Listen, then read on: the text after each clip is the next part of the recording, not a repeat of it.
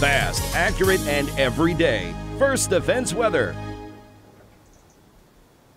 A good Tuesday afternoon, everyone. I'm Chief Forecaster Andrew Stevenson with a look at your forecast. Wow, Jamestown really got pounded with rain yesterday as it just kept on coming and the storms kind of just trained right one after another, leading to multiple inches of rain. I'll have those rainfall totals coming up in a minute, but first I wanted to share a few photos with you from Western New York storm chasers. chasers. This was down on Allen Street yesterday where the rain just came down so fast it pretty much flooded the entire area out and other parts of Jamestown were flooded and even lightning struck a pole and put it on fire near the ice arena yesterday. So it was just a very active day yesterday in terms of weather. And when the storms come, usually after the storms go, Mother Nature always provides a rainbow, and this rainbow comes courtesy of Chautauqua Weather today over the Falconer, Falconer Volunteer Fire Department. So this was Doppler radar estimation of rainfall totals, and pretty much these totals are actually spot on.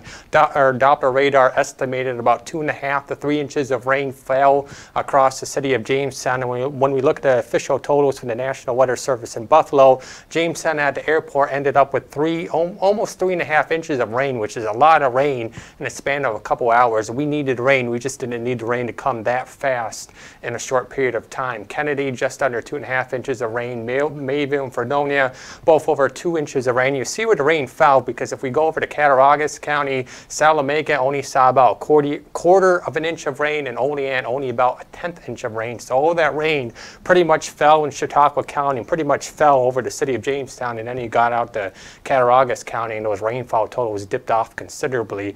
So just a reminder, when you come across flash, when you come across roads that are flooded, it only takes six inches of rain to knock a person off their feet, and it takes about a foot, foot of rain to sweep your car away. And we got over three inches of rain yesterday. So if you come across a flooded roadway, don't try to drive through that. Turn around and don't drown. Here's what's the culprit for all this rain and storms. It's a low pressure system moving across the pretty much across the state right now, but it will continue moving across the state today, and eventually high pressure is going to build in tomorrow, and we should be dry for the rest of the week. And at this point, we need to dry out a little bit. So a few showers, maybe an isolated thunderstorm possible this afternoon, not to the intensity we saw yesterday.